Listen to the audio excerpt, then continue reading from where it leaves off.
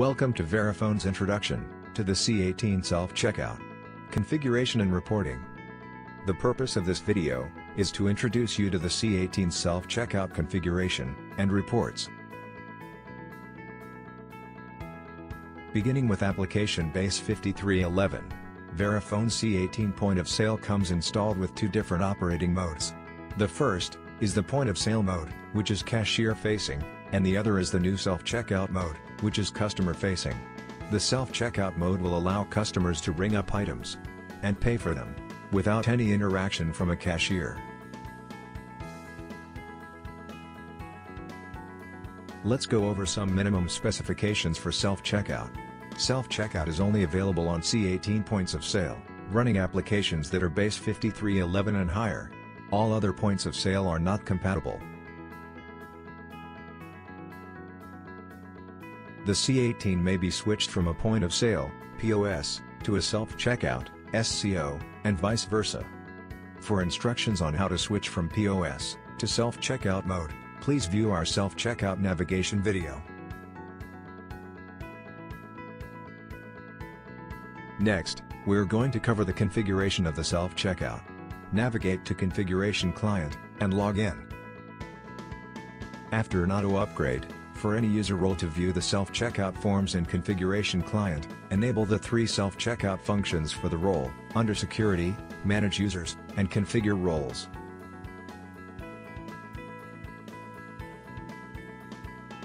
Certain objects on the touchscreen for self-checkout may have images attached to them. Before we create our objects on the touchscreen, let's go over how to add images to the system, which can later be added to our touchscreen objects. Images are uploaded under Tools, and Image Upload. Images being uploaded, must meet file size, file format, and picture size requirements. In addition, the site controller also has limitations regarding how many images may be uploaded at one time, and how many images total, can reside on the system. A copy of these guidelines may be viewed by pressing the guidelines link. Click Add, to upload an image. Image Upload, allows users to add multiple images to the Commander. The Target pull-down menu allows the grouping of like images together. The image groups are labeled Carbon Common, Carbon Commander Workstation, Carbon Self-Checkout, Welcome Screen, and Default. If you upload images to the Welcome Screen group, it does not need to follow the same resolution and file size guidelines that the other target groups do. Images can be uploaded from the connected computer to the site controller by clicking Browse. After clicking Browse, the browser's file selection window will open. First, Navigate to the folder on the connected computer that contains the images, then select the images to be uploaded. A single image may be selected by clicking on the desired image, or multiple images may be selected by holding down the CTRL button on your keyboard and clicking the images. The files will populate in the file name area. Up to 50 images may be selected at one time.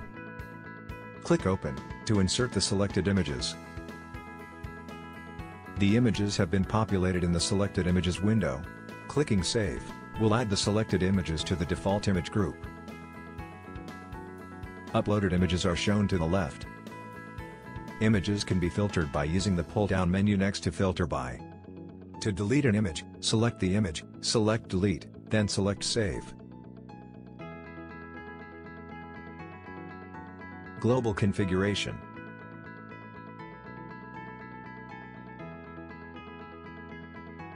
Next, we're going to look at the global configuration of self-checkout.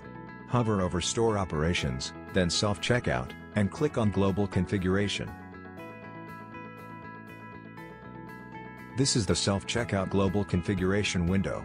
Settings in this area govern how all self-checkouts within the store will behave. First, let's take a look at the MOP section. This section configures what methods of payment or MOPs will be accepted at the self-checkout. At initial launch, only network-based MOPs will be accepted.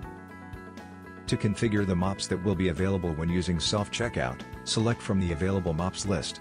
Multiple MOPs can be selected at one time by holding the CTRL button on the keyboard and clicking the selection. Use the single arrow to move just the selected mops, or the triple arrow to move them all, over to the selected list. Images may be added to the method of payment buttons. Clicking on the gray area to the right of the MOP, allows you to add photos. A separate window containing the site controller image library, appears. At the top of the window, are tabs for the different target groups. Select the tab that contains the desired image, then select the image.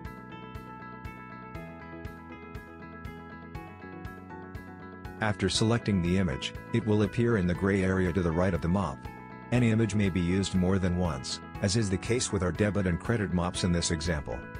Next, let's take a look at the Departments section. Select departments from the available departments list. Multiple departments may be selected at one time by holding the CTRL button on the keyboard and clicking the desired departments. Use the single arrow to move selected departments, or the triple arrow to move all departments over to the selected departments list. PLUs assigned to departments in the selected departments list, will be allowed to be rung up at the self-checkout. All other PLUs will be denied, and an error message will appear on the self-checkout. For more details about sales operations, view our self-checkout navigation video. Next, we'll talk about sales parameters. Show hot items on scan screen, will show PLU or menus that have been marked as hot items in category configuration, on the scan screen. Display lookup item prices, will display the item's price on the button, and always print receipt, will print a receipt for every transaction on the SCO. Next, let's look at theme configuration. Theme configuration allows you to select a custom logo for your attractor screen. Theme color chooses the accent and button colors. The default is Verifone's logo and color scheme. A 6-digit hexadecimal code may be entered from the theme section. Or, you can select the color swatch button to the right of the theme color, to select from 40 default colors. You can also edit the color further by pressing, More. Let's select an image for our welcome screen. We'll select the image, highlighted in blue. To save the configuration, click Save. As of base 5340 and higher, new options for the welcome screen have been added. The Select Image button has been moved to the welcome screen section. There is an option to keep the image its actual size, or, it can fit the 900 by 840 pixel image space. If the image is larger than 900 by 840, and actual size is selected, it will automatically crop the image to fit the image space. Background color and message color may be configured, and a custom message may be added to the welcome screen. Category configuration. Next, we're going to look at the category configuration. Hover over Store Operations, then Self-Checkout, and click on Category Configuration. Categories are groups of items or menus that can be rung up on the self-checkout using the lookup button, or as hot buttons on the SCO. They will also appear at the top of the screen, once lookup is selected. Existing categories are listed to the left. This window shows items that are included in the selected category. Click Add to configure a new category. All categories must have a name that should describe what is in the category. Categories do not need to match department names or content. Click Add Item to add an item to the newly created category. Click on the blue area beneath Type to add a category. Clicking on Type allows the user to configure the touch button as a PLU or menu. Selecting PLU causes the Retrieve PLUs window to appear. Users can search for PLUs by number, product code, department, description, price, or any combination of those search options. Clicking Retrieve page returns a list of PLUs that match the search option. Select the proper PLU and click Done. The PLU number and item display name should autofill in. If menu is selected from the touch button type, users can choose from the list of pre-configured menus. Checking Hot Item, next to the PLU or menu, means the item will appear on the lookup screen, as well as the popular category. To add an image, click on the gray area next to the PLU. Just like the MOPS and the store logo, under Global Configuration, Individual items may have images assigned to them, from the site controller's existing image library. Items that do not have images assigned, will only display the description, along with the price if it is configured to show. Select an image, to add it to the item. Previews of the images will show, next to the items.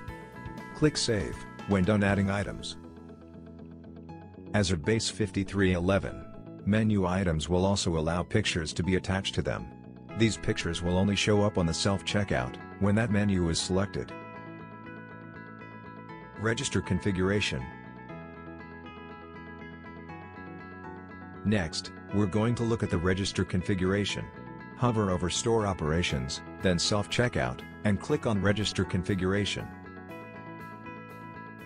Register configuration is where users can assign categories to specific registers. Remember, categories determine what items can be located using the lookup feature on the self-checkout. As long as an item is assigned to a department configured in the global configuration, the item may still be scanned. First, select a register from the Select Register window.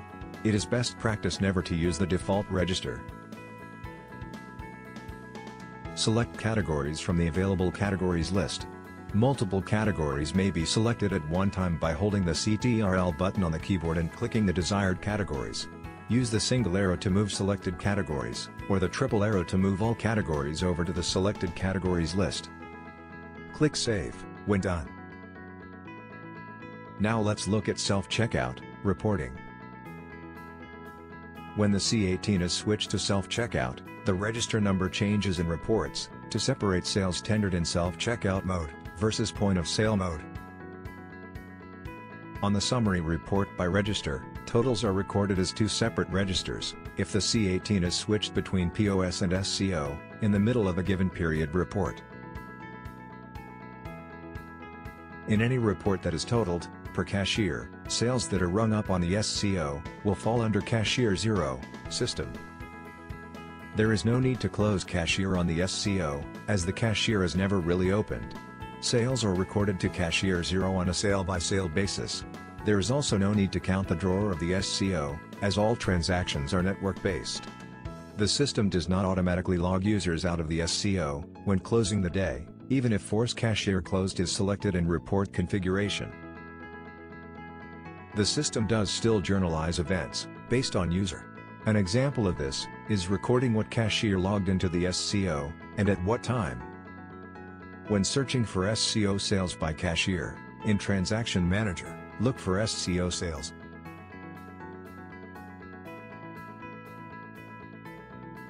The self-checkout does have its own datasets that can be imported and exported. Take a minute to review the datasets below. More information about the self-checkout can be found in the SCO User Reference Guide. When this guide is made available, it may be found on the support portal under Technical Support, Support Articles, Petro and Convenience, General Info, Feature References. Thank you for viewing Verifone C18, self-checkout training video on configuration and reporting.